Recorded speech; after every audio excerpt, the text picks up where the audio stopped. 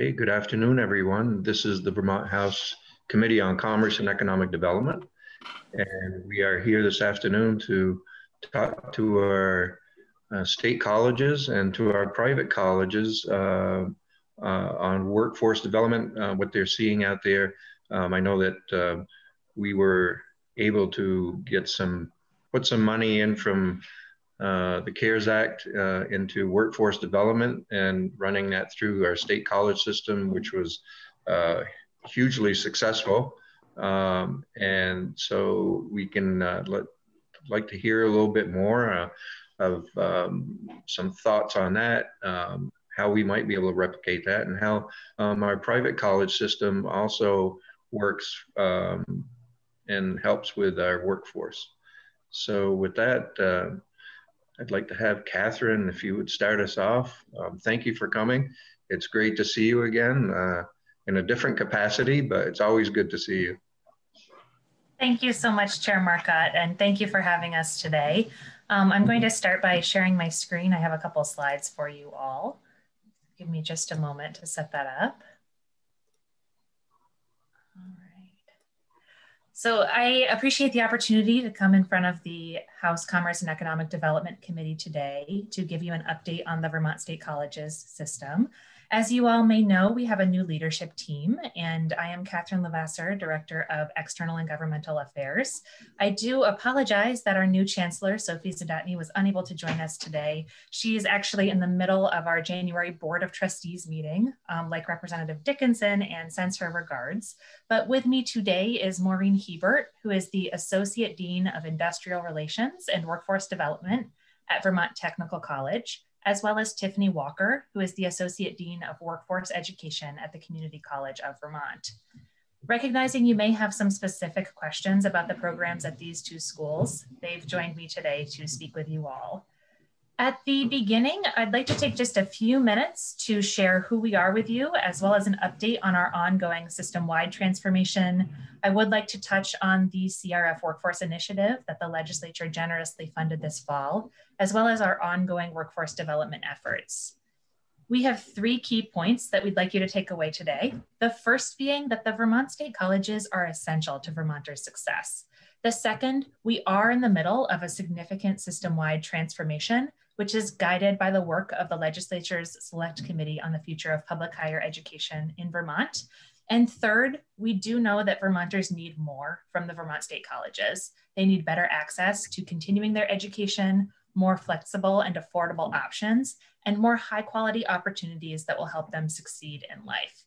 And we want you all to know that we are working hard to do better and deliver more to the Vermonters that we serve.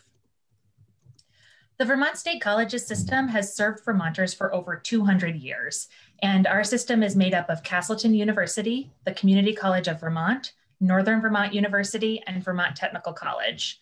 As we are all aware, the COVID 19 pandemic has created both a public health crisis and an economic one across the state, and that's amplified the Vermont State College's significant structural budget deficit. We do want you to know that even though we're facing significant challenges this year, we are committed to continuing to deliver for Vermonters.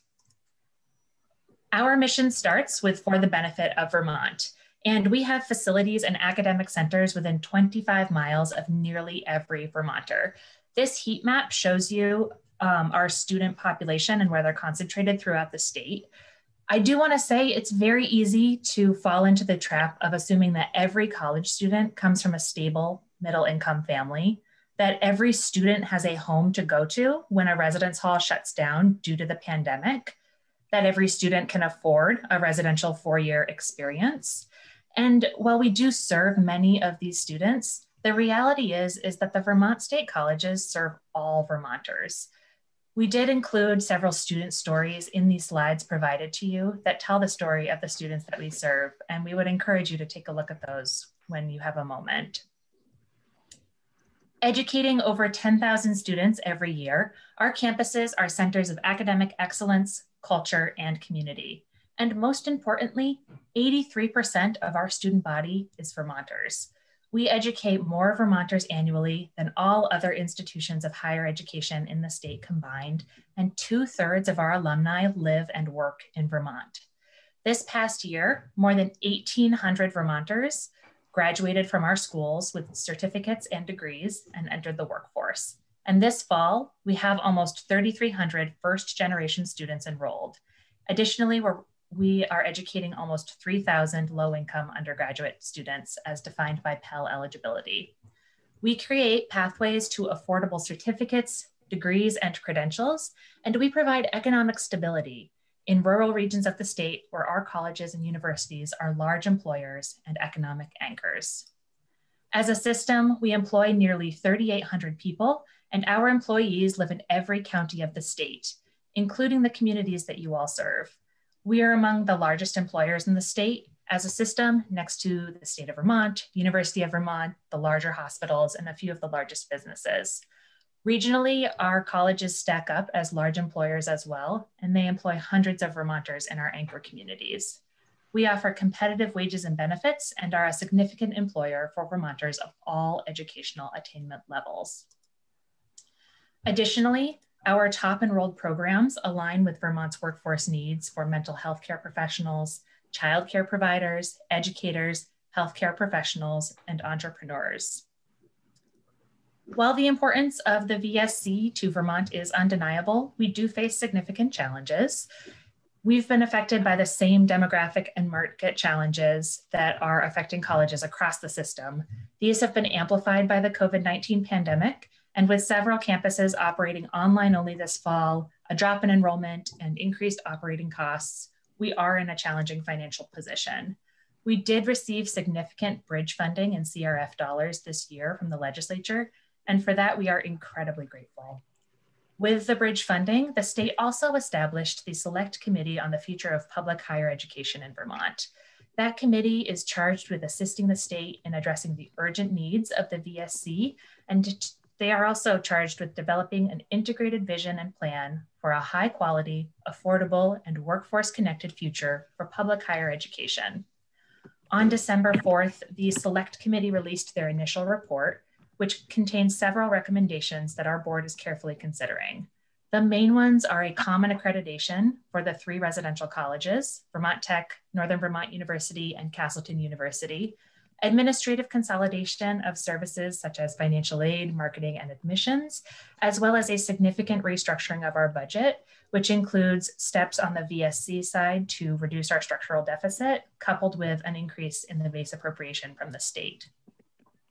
We are in the process of mapping out what these would look like for the VSC, and we expect our board to further consider these in the coming months. The next select committee report is due to the legislature mid-February and the final report is coming mid-April.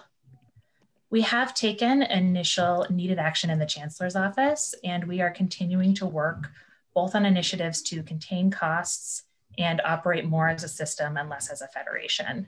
This work is ongoing and essential as we do our part to transform. And we are looking to partner with the legislature, the governor's office, the select committee, and our board of directors for direction in the months to come.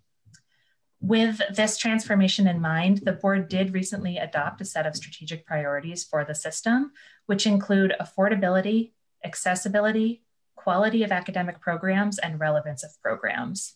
And embedded within each of these is, is an intentional focus on diversity, equity, and inclusion. We're looking to partner with the legislature as we work to collectively stabilize the system and build a better, stronger, and more sustainable future for the state. We want to thank you, our legislators, for the encouragement and ongoing support you've shown the system over the years. And we especially want to thank you for the bridge funding we received in the FY21 budget, as well as the CRF funding that we received, especially the $2.3 million workforce initiative. We are incredibly passionate about keeping our students at the center of our work, and this initiative enabled nearly a thousand Vermonters to upskill at a time of great uncertainty and need. Specifically, 971 Vermonters took 1,398 courses across all four institutions, thanks to the initiative. We were able to serve students in all 14 counties whose employment was impacted by the pandemic. We did a soft rollout of the program on a Friday, and we actually had to close enrollment um, the next week because interest was so tremendously high. We've heard incredible stories from our students about this initiative, how it came at exactly the right time, how it helped them change careers or upskill, and specifically how the wraparound services, such as the technology assistance, textbook, childcare, and transportation assistance, removed barriers that they had as they were seeking to access education. We have put out a survey to participants this week, and we're looking forward to reporting back to you as we gather more data from our students. Our highest enrollment in the CRF programs fit into a couple categories.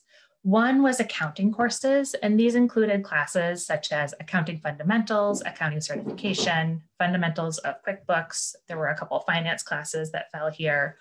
There was also a business and project management category that we saw high enrollment in. That was agile project management, business project management, um, supervisor skill development, and there was IT and web development services such as computer applications, computer fundamentals, web analytics, Java fundamentals, Python programming, and website development also saw high enrollment.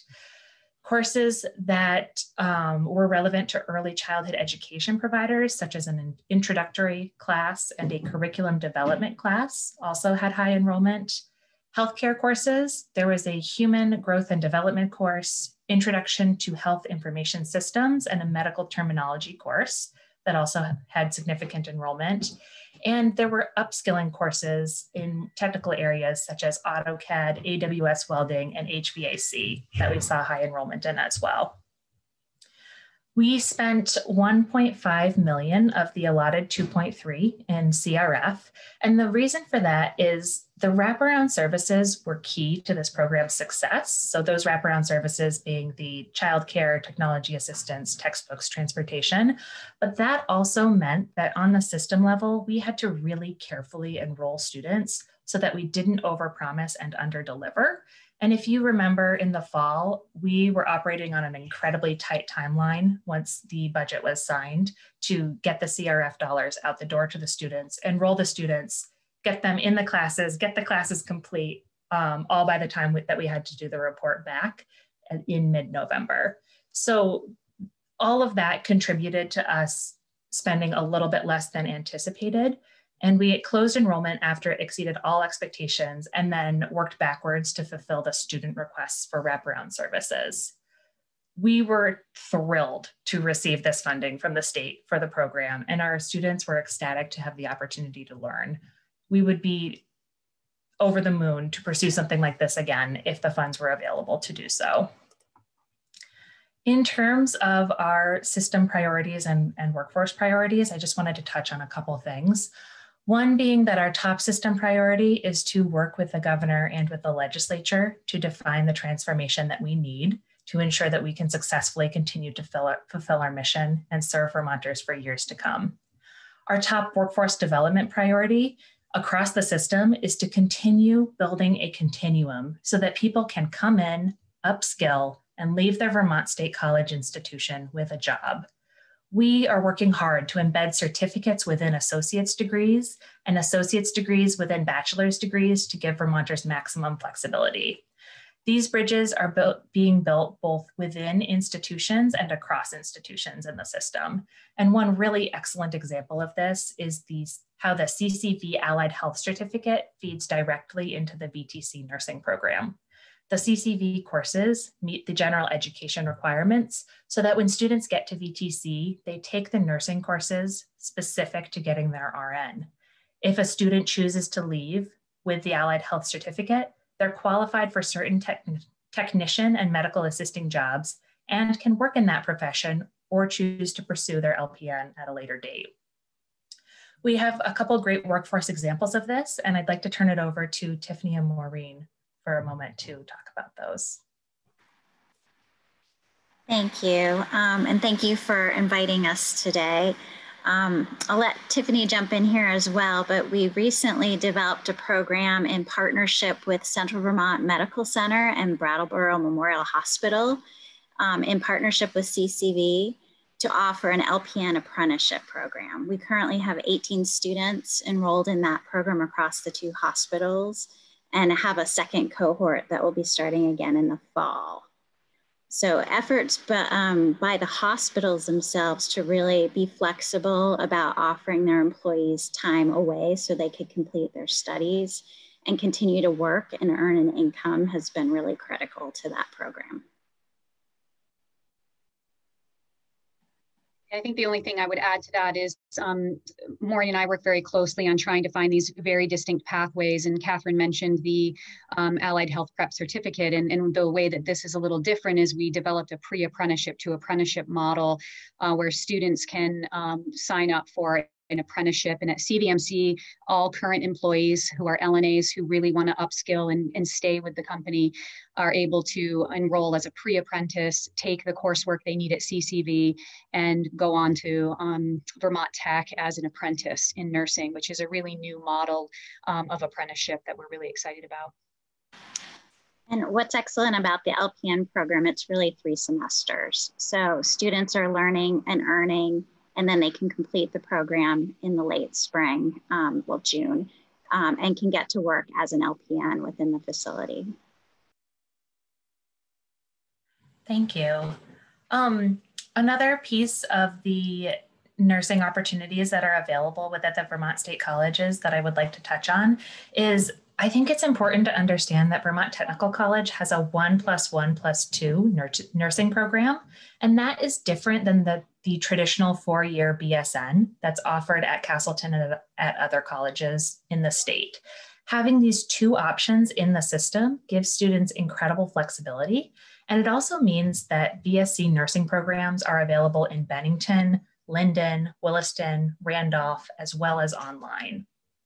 The one plus one plus two means that after the first year, a student achieves a practical nursing certificate and then can continue their education or take that credential into the field. After year two, they earn their associates in nursing. And in the third and fourth year, they work towards their BA, which is offered online. The VTC nursing program is co-located with CCV and Northern Vermont University, and we are currently in the process of setting up a program in partnership between NVU and VTC to provide additional collaboration across the system. Further, we do have opportunities available in the Masters of Science in Nursing program at Castleton. Another workforce example I'd like to share with you today is the work that we do with childcare providers. At CCV, we have the Northern Lights contract with the state where we offer a certificate, associate's degree, and we also do professional development courses for providers. We have an online accelerated certificate that can be completed in four semesters. And NVU, Northern Vermont University, has a program for an online bachelor's degree that was actually developed in sync with the CCV program. They have a traditional in person program as well, and having these two options gives students maximum flexibility to choose the program that best suits their needs. And also gives us the opportunity to enroll students that in a profession where we have a great need in the state. This was designed um, in partnership with the state and to address the need that providers should have a certificate or a degree. We would love to expand this because of the incredibly high demand, um, currently, it's operating in a cohort model, which means that there's one start date a year. We're talking about opportunities to offer it in multiple cohorts, so multiple start dates throughout the year. And the CCV associate's degree does feed into that NVU program, making the NVU program two years. In order to do it online, you do have to have a CCV program or equivalent. And it's five semesters with that CCV NVU partnership, or you can do a traditional four years bachelor program at NVU. And one other thing I wanted to touch on um, as a, a great program to bring your attention to today is the learning and working community currently under development at Northern Vermont University. In this model, formal partnerships between NVU and local businesses, public entities, and nonprofits will be developed with some organizations co-locating on NVU's campus.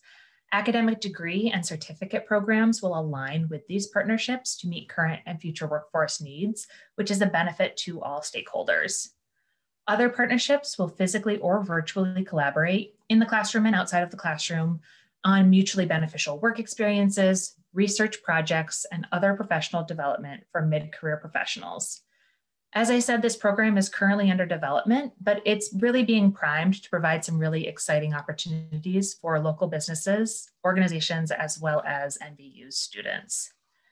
And I'd like to now turn it over to Tiffany and Maureen again, who can share some specifics from Vermont Technical College and from CCV. Thank you, Catherine. And Tiffany, I'll let you go first this time if you want.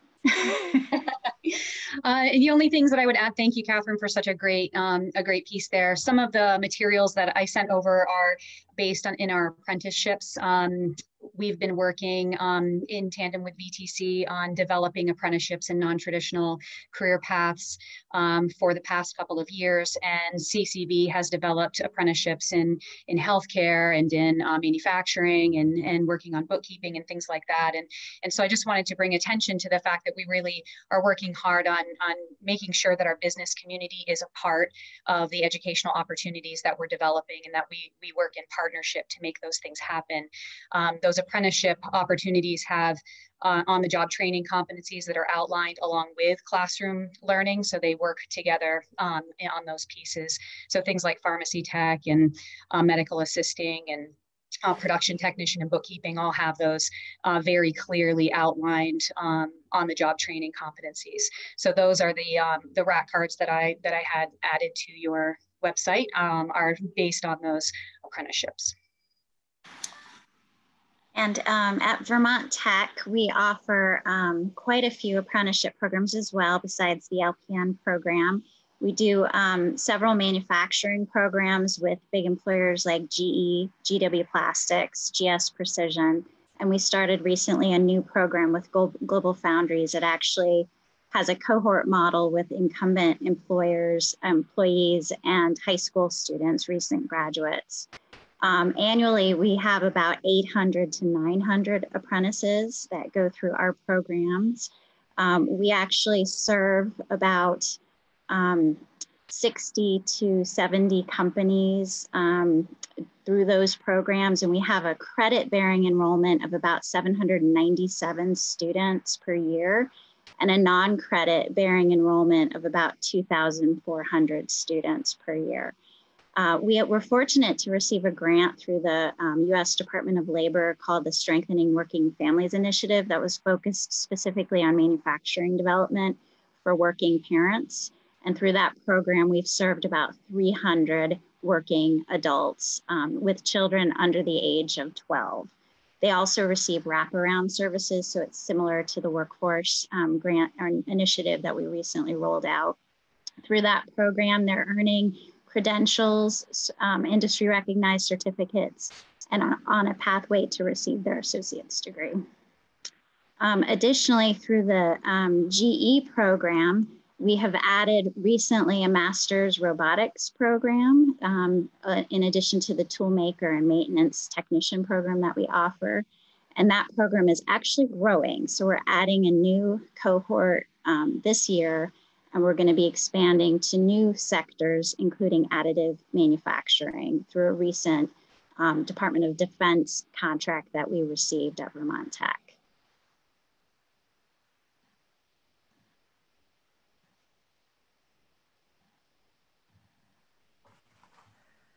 So we know um, you may have some questions for us about some of these initiatives or about some of the things that we do for workforce development or the system as a whole. And if the chair is amenable, we would be open to answering as well as we can.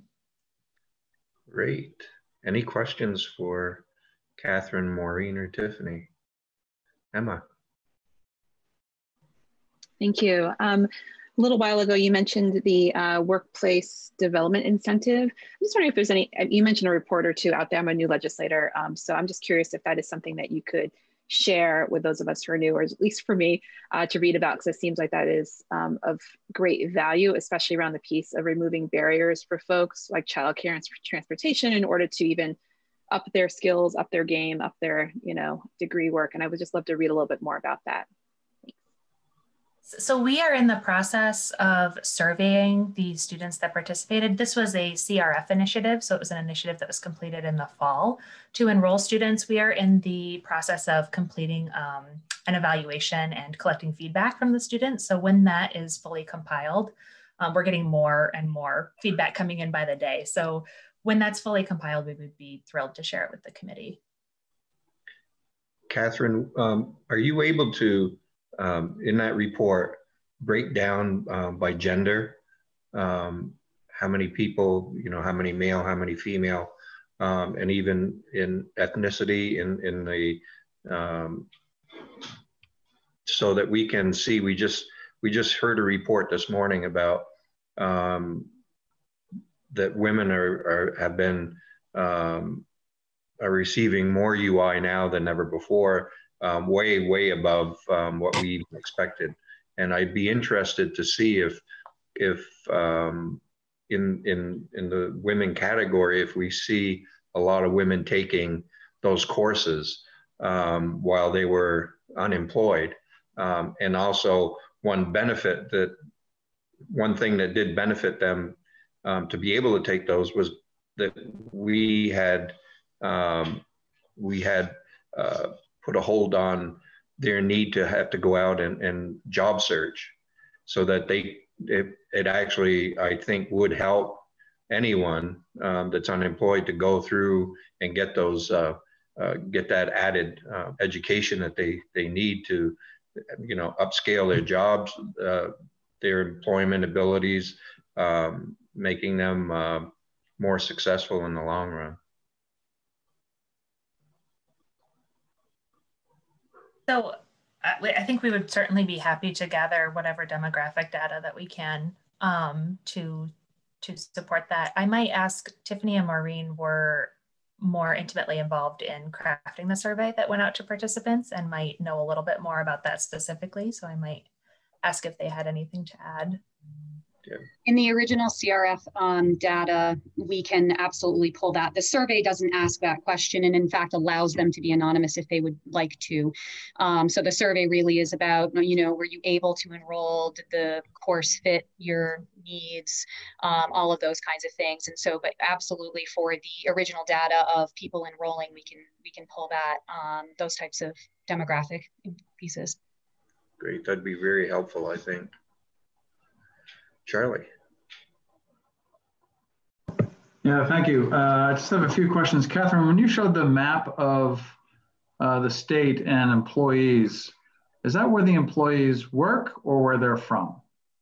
Uh, home address. Home address, okay.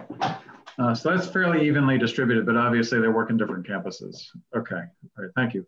Um, and I think, uh, Maureen, you had mentioned the nursing program at Central Vermont and Brattleboro Hospital. That program already existed, right? That's not new. It's new as of this fall. It's now an apprenticeship program and it's delivered right on site at Central Vermont Medical Center. Um, in the past, students would have to um, do a full time um, program at one of the Vermont Tech sites, which are in partnership with CCV and some of the tech centers across the state. This is actually being delivered at CVMC, and they have a flexible schedule so they can continue to work um, okay. while they're taking classes. So, what was the program? Was it at Brattleboro before? Was it CCV that was operating the program in Brattleboro? We had a medical assisting program at Brattleboro that's in its fifth or sixth um, cohort, um, the college to career program, um, where people could take. Um, these were mostly people who did not work for Brattleboro. They were coming from the community and really wanted to get into healthcare. Uh, they yeah. would take one semester intensive, um, five courses uh, full time, and then start working um, immediately upon finishing those courses. Okay.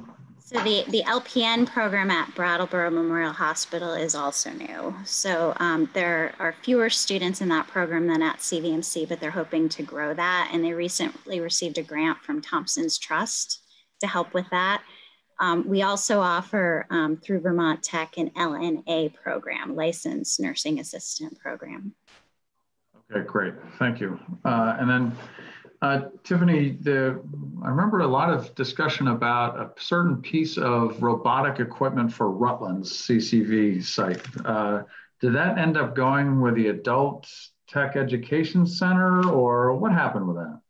That is a great question. Um, Peter Fagan's my across the street neighbor, so I'm just going to see if he's looking in. Um, so um, we that we never, you know, CCV was not able to, um, so we are not eligible for the funding source um, uh, that that discussion ended up flowing into. Um, those are tech center specific funds. So no, we were not able to. Um, we would still love to do it. I think um, teaching people robotics would be really, really important to us and to our advanced manufacturing pieces and getting them interested in, in those kinds of careers and going on to Vermont Tech. Um, but yeah, we were not able to to get that funding at CCV. Okay. Uh, just the last question I had was uh, in terms of the trends, because you were talking about the number of apprenticeships, and it's a pretty impressive number. I'm just wondering about where that trend line is in terms of where it has been over the past couple of years. You know, where definitely growing, um, and new industry sectors are interested in getting on board with it. Um, particularly manufacturing. In the past, it's mostly been the trades. So our biggest programs right now are electrical and plumbing, and those typically have about 700 students in those programs. Um, for em employers, it is a commitment. They have to um, hire an apprenticeship um, student and then work with them as a mentor as they take the related instruction. So it's it's a little bit of a convincing um, and getting people on board on why it's a benefit. There really is a high um, rate of um, retention with apprentices nationally. So that's one really good statistic, particularly for manufacturing and healthcare. People aren't going to jump ship if you've invested in them this way. So we've been adding new um, apprenticeship um, uh, programs, and it's it's over time. I think you'll see quite a few across the nation. There are thousands. Great, good, thank you. I mean, this this committee's always supported apprenticeships, and it's just a matter of getting enough people to fill the slots. Yeah, we're um, actually working right now with the state and employer partners on a fiber optic installer program. So more to come on that. Mm-hmm. we're hoping that will become an apprenticeship program. Great, thank you very much. Just to piggyback on what Charlie was asking, um, we had taken testimony, I think, a couple years ago um, about the issue of, of licensure um, and the ability for hospitals to be able to have apprenticeships and for nursing because of the credentialing that that needed to be done and we had asked OPR to, to take a look at that and has that lessened or made things a little easier well, the, the LPN program that we're currently offering is actually a registered apprenticeship program. So it was approved. Um, the curriculum is still the accredited quality curriculum that Vermont Tech has always offered. So that particular program has been approved. We are looking um, at other programs like phlebotomy um, and other uh, licensed occupations for the apprenticeship model. So the the nice thing about apprenticeship is you're actually working and learning at the same time. Most people can't quit their job and go to school full time, um, particularly in this day and age. That, that allows um, participants more options and being able to support their family while they're, they're learning a degree or earning a degree. Yeah, I think trying to remember the whole issue, but it seemed that um, there's there's a need for nurses while they're going to school to apprentice into into hospitals, and that um, there were not nurses uh, eligible to be able to oversee them while they were in the hospital. They because there were some changes in licensure, and um, we had asked that to be taken a look at to see if they could uh, if if experience could be added to um, you know the licensure need for those uh, people overseeing. Yes, we, we are fortunate. We have a, a, strong preceptor model at Central Vermont Medical Center. They're actually one of their employees is overseeing that piece for our students. So they committed one of their staff members to help with that piece. Um, so that was helpful. I know um, some of the regulations around a mastered prepared nurse yeah. um, is the only one that could be the the preceptor. That those have been relaxed a little bit. You can have a BSN. That's good. I, I think that's something that we were pushing hard on um, because it was it, it, it is an issue of being able to get more more nurses uh, into the field quickly. Um, it seemed like we had plenty of people applying to for the courses, but we just couldn't get them uh, get them through the courses fast enough because of those restrictions. So and we good. had we had someone who might otherwise be a qualified instructor that had to quit a better paying job, go get their master's degree, and then take on a lower paying job. Right. Yep. Like, why would you do that? Yeah.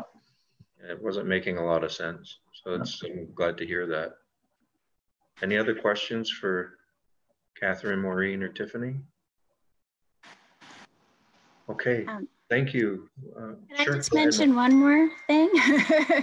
um, we have a career and tech ed teacher licensure program. So it basically works like an apprenticeship model program um, where the someone from the industry sector decides that they want to become a teacher at a tech center.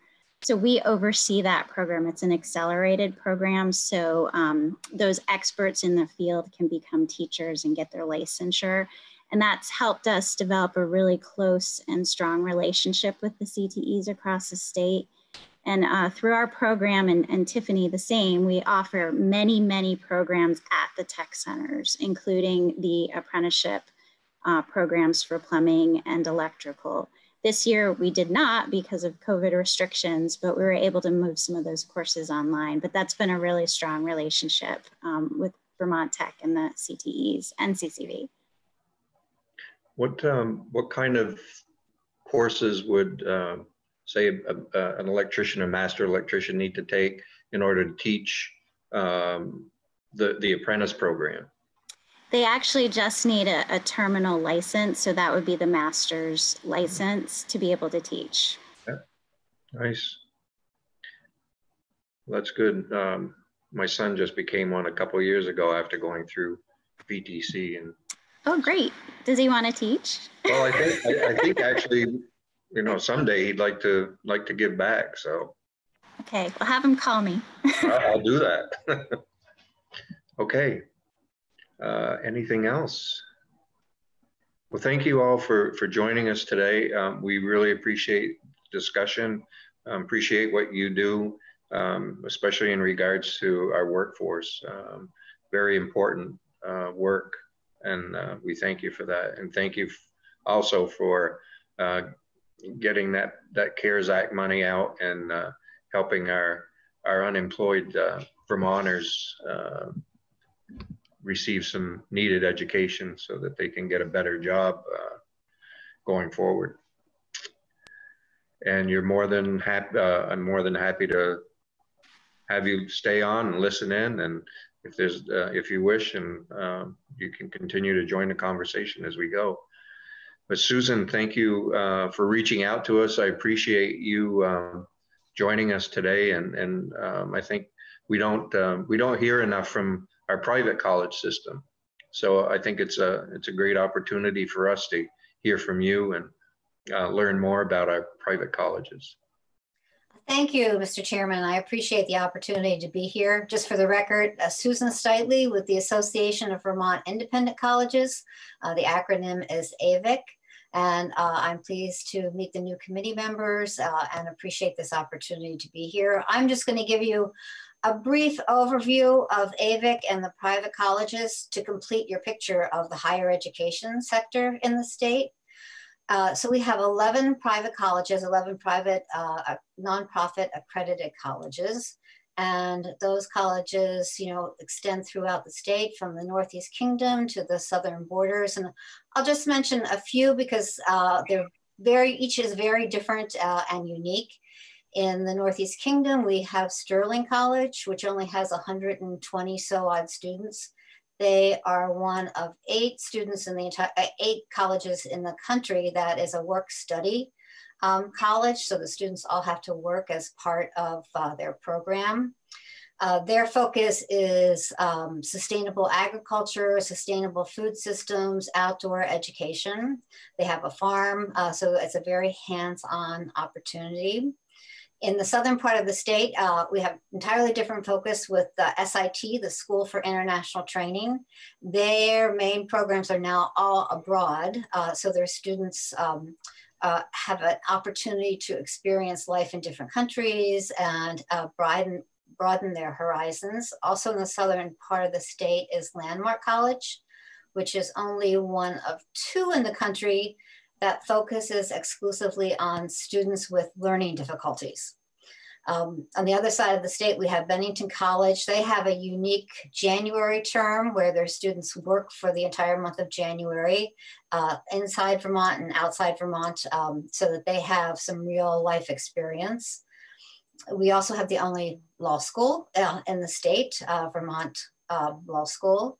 We have the oldest private military college in the country, uh, the founder of the ROTC, uh, that's at Norwich University. And um, we have Champlain College in uh, Burlington. They offer 80 different degrees. They have a very strong online program and certificate program as well. And St. Mike's, of course, is in uh, Colchester, and they have were founded by the um, Saint Saint Society of Saint Edmund, and they have a strong legacy of uh, contributions and community involvement and giving back to the community. As you probably know, uh, you know, our higher education system is quite fragile. We've had four colleges close over recent years. We've got uh, currently, you know, the Vermont State Colleges are looking at how to restructure. We are going to have two more higher education institutions close this year. Um, NECI, the New England Culinary Institute, and the Albany College of Pharmacy and Health Science are going to close at the end of the semester when they teach out their current students. So I want to really thank you so much for the legislature's support for the CRF funding that was given to the private colleges. It was really valued and needed. Uh, we had over $144 million in loss. So that really helped to support the colleges, particularly through all the challenges of the pandemic. And I'd just briefly like to talk about some of those challenges that we met. Um, but that was really key uh, to helping move things forward. Uh, the private colleges took a strong leadership role in the state. Uh, AVIC helped develop the uh, governor's restart guidelines. We brought um, both the public and the private colleges together weekly for conversations uh, to discuss uh, how to get students back safely. And I think we were very successful in doing that during the pandemic, um, which of course is continuing, we didn't have any transmission of uh, COVID from student to community. So that was really a success. We did have, unfortunately, at St. Mike's, there was an outbreak, but that was from the community to the students, and then it did spread quickly. Um, so we had a lot of lessons learned. We did a lot of testing. Uh, we also did get testing dollars from the legislature, which was key. We're going to be beefing up testing uh, in the spring semester. Students are just starting to come back to campus now. They'll be doing an on-campus quarantine for 14 days testing on arrival, testing at day seven, and most of the colleges are doing weekly testing throughout um, the spring semester. And as a preventative, there's not going to be a spring break uh, at any of the colleges uh, for this year. They're going to be doing, keeping the students here and finding people, uh, colleges are doing a variety of things, having reading days, a day off here and there, uh, in order to keep the state and the students safe so we don't want them going back out um, for spring break and returning. So COVID has been, you know, a real impact on the students, although enrollment has stayed fairly consistent with most of the colleges and some have even seen an increase. Vermont is uh, really considered, you know, safe school reopening. So that is attracting more students to the state. One of our key um, contributions, I think, to the workforce is that 80%, about 80% of our students are from out of state. So we are bringing in a whole youthful population. Uh, and many of these students stay in Vermont, many want to stay in Vermont. So it's a captive youth group that is coming here to the state. Uh, and, uh, you know, as the governor continually says, we need more young people. So we need to find ways to keep this group here. Um, they oftentimes they can't find jobs, but many of them fall in love with Vermont. I'm sure some of you might have come here from out of state to go to college yourselves. Um, And it really makes a difference uh, and has provided strong leadership throughout government uh, and you know the, the state. I did want to just mention because uh, people have been curious about the distribution of the CRF money. Um, the legislation was written so that AVIC could decide how to distribute the money amongst the colleges. And one, it's a real example of the collaborative nature of the private colleges. We worked together to ensure that the smaller colleges got what they needed. Uh, the colleges that had under $1 million of uh, COVID related expenses that they could claim under the CARES Act, they got 100% of their needs. The, small, the larger colleges uh, then divided the, the rest. And Middlebury College, because they have an, um, a fairly large endowment, for Vermont standards, uh, they uh, offered to take less money uh, in support of the smaller colleges. So it was a really great collaboration of working together to keep our smaller colleges strong and alive. Um, we also had a representative um, on the governor's Restart Economic team. He didn't originally um, designate anyone from higher ed onto the team. Uh, higher ed with the public and the privates in the state is the third largest employer in terms of salary and wages. So AVIC petitioned the governor. We got the um, former president of Norwich University on the team, Rich Schneider. So we work closely uh, with that team and making sure that uh, the economic restart uh, happens smoothly and with the support of higher education as well. Um, I did want to say that I, it's really key that we do bring in, we also do, you know, 20% of our students are Vermonters, so we reach out to Vermont students as well. The private colleges uh, provide all these different opportunities for learning uh, in the state, and um, we continually, you know, give scholarships, reduce our tuition, and are working hard to reach out to everyone in the state. And I'll leave it, you know, uh, open it up to questions that you might have uh, on the general um, landscape of the private colleges. Okay, questions for Susan? Charlie. Sorry, Mr. Chair. Um, Susan, thank you very much for coming in. And I just was wondering, are, are Goddard and also just wrote it down. Vermont College on the Arts, are they also members? Yes, yes, they are. And you probably know that Goddard was on probation. They are now off of probation. They're uh, they've been reinstated for the next 10 years. So um, it, that's been a big uh, success that Goddard is, you know, getting more and more financially secure. And Vermont College of Fine Arts is also a member. Um, let's see if I missed anybody else uh, when I was talking. I think uh, I think I covered everybody else. I think that's it. Yeah, yeah. I was just going down through the list of, of course, it's been a tumultuous period. Of course, when I was back at school UVM so many years ago, Trinity College still existed, and Burlington College did, and you know, it's just been a long transition. And how's how's Vermont's industry versus New Hampshire in terms of private colleges? I mean, how is our trend any different than what's going on in terms of the number of institutions? Uh, I think we have more private institutions than New Hampshire. Uh, you know, their state system uh, is quite strong. Uh, the, the, one, um, New Hampshire, University of New Hampshire uh, is very strong and has a big online presence. But I think, you know, our colleges are more well known.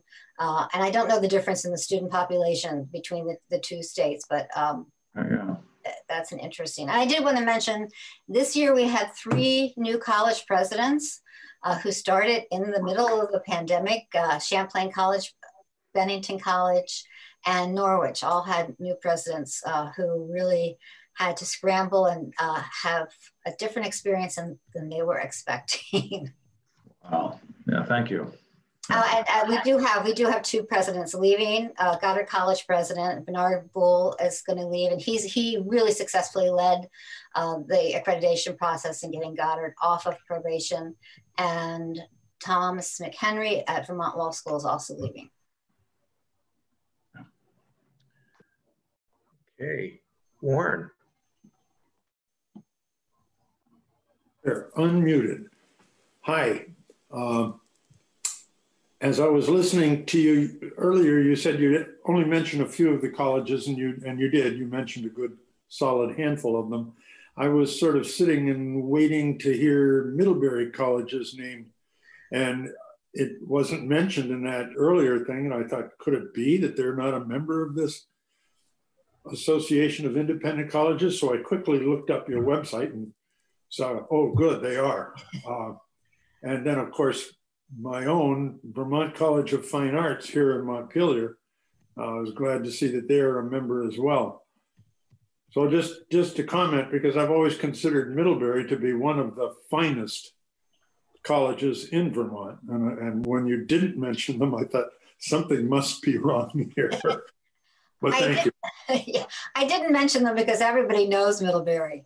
Uh, And, you know, most people right away, they think of Middlebury and the smaller colleges aren't as well known. But they are a member, a very active member. Actually, their president is on my executive committee for the next two years.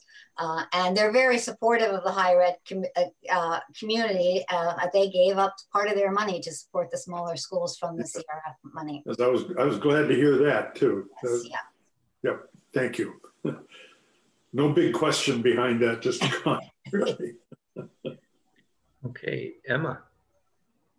Thank you. And Susan, hi, I'm, I'm a representative up in Burlington. And I just want to, it's more of a comment and a, and a note of gratitude. There was a lot, a lot, a lot of nervousness here in Burlington with the return of students in the fall around COVID and how that would impact the Burlington community and UVM in particular, but also Champlain and St. Mike's to some extent, even though they're in Colchester, just did a tremendous job of supporting students and not only, you know, in quarantine mode, but testing and the constant testing because so many students also live in the community as well as on campus. So I just wanted just to take a moment to say thank you and to extend that on to the university because it really, it really mattered. It allowed us to reopen schools, it allowed us to run childcare, which makes it, you know, possible for people like me to work during the day. So really a lot just a gratitude of taking that so seriously and to the students, of course, right, by extension.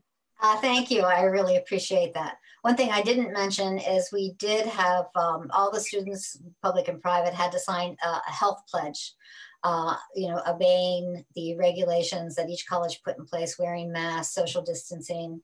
Um, and there were violations and there were, you know, students who were kicked off campus. Um, but it was really not as many as anticipated. So the students really, you know, saw the value of being together. But I appreciate Representative your uh, support for what happened in Burlington because it was uh, a, a, lot of work and everybody jumped up and did their job. Any other questions for Susan?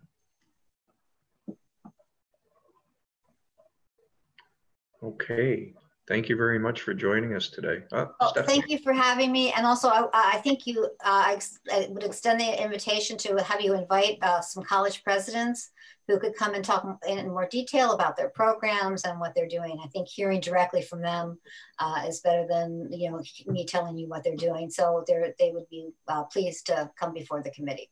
No, we'd be glad to do that. Uh, Stephanie has a has, does have a question for yeah, you. Just a, just a, uh, thank you, Susan. Just a quick comment. Um, so I like that uh, the the the fact that higher education institutions were recognized as a significant employer in the state and part of the, that restart task force, and um, so it was recognized that that this group is a significant employer in Vermont. And going forward, what would you recommend for um, you know how, how do we keep that on top of mind that that these institutions are excellent employers, provide good salaries and excellent benefits to their to their their um, their staff, and um, just like to, I think we just need to recognize that this is a significant industry in the state. I totally agree, of course, and I I have worked at various times with the marketing and tourism department, uh, and um, have had some successes, but it has taken, they still don't think of higher education as a business, which we really are, even though it's a nonprofit business. So I think the state needs to be marketing higher ed uh, much more than it does and that we need to be part of any strategic marketing plan because we are you know bringing the youth here and we are one of the largest industries. So i, I know you know they want to promote lodging and restaurants but they should be i really feel there there should be more promotion at the state level of higher education uh, making vermont more well known for being an education destination. Good point. Anything else for Susan? Well, again, thank you uh, for joining us today, and thank you, Tiffany and Maureen. Um, we appreciate the discussion. Um, we're trying to set up a, a time with uh, President Garimella at UVM, and I think uh, it would be a good time um, if we can get a date set with him, that we can get some dates set uh, at the same time um, with some of our college presidents um, that you would suggest, Susan, and, and maybe uh, we can get the chancellor in with us too from the state colleges and make it a, a nice afternoon of, of uh, discussing uh, colleges. So uh, committee, um, I think that's it for the week. Um, I appreciate uh, your hard work this week. Um, it just gets it keeps getting harder from here on in. Um, next week we'll be uh, actually looking at the Budget Adjustment Act um, and the pieces uh, that we have to deal with in that, and uh, we're getting that lined up. That'll be uh, at least Wednesday morning, all morning, um, and it could be longer. We have to get a report back to uh, appropriations by the following Monday, and my plan is to be finished with that by next Friday. So um, stay tuned to that. We also have uh, uh, S9. Uh, I received a, a, message from Chairman Sirotkin that uh, the Senate has passed S9. Uh, so we will have it Tuesday. And uh, so we'll begin working on that Tuesday afternoon. the hope is to get that passed out Tuesday afternoon so we can get it to the floor by the end of the week. Any uh, anybody have any questions before we get off live feed? Okay, have a good weekend, everyone. Uh, appreciate your work.